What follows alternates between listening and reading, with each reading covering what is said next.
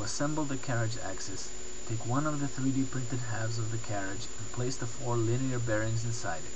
Then enclose those bearings with the second printed part, making sure the belt teeth line up on both halves. Next, place the hexagonal nuts into their corresponding recesses and insert the socket head screws from the other side and tighten them securely.